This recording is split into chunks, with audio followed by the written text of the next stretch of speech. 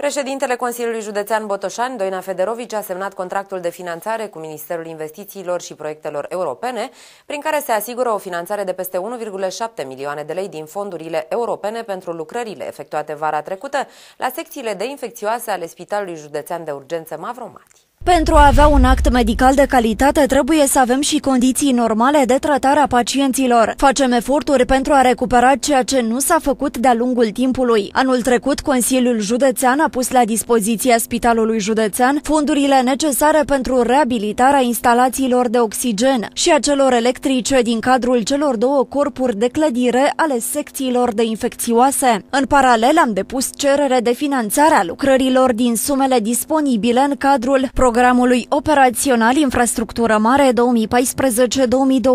Acum am semnat contractul de finanțare cu Ministerul Investițiilor și Proiectelor Europene și vom recupera cheltuielile făcute. Banii atrași îi vom folosi pentru alte proiecte de dezvoltare de care județul are atât de multă nevoie, a declarat Doina Federovici, președintele Consiliului Județean. La începutul lunii octombrie 2021, Consiliul Județean Botoșani a depus în cadrul apelului creșterea capacității de de gestionare a crizei sanitare COVID-19 din programul operațional Infrastructură Mare 2014-2020,